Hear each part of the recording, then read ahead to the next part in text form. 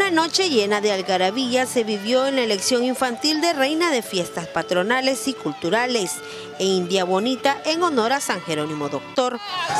Se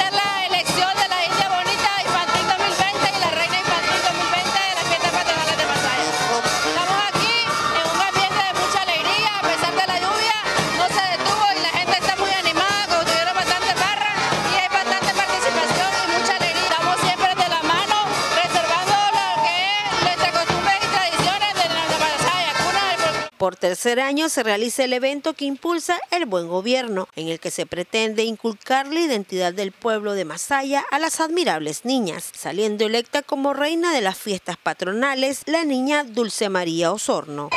Muy bien, porque estoy transmitiendo cultura, tradición a mi Masaya y, y estoy muy orgullosa de representar a mi Masaya como reina de las fiestas patronales.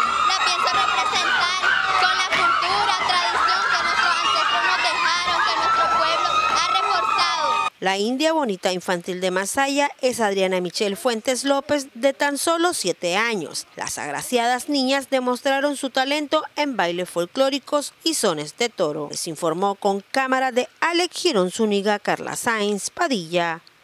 Multinoticias.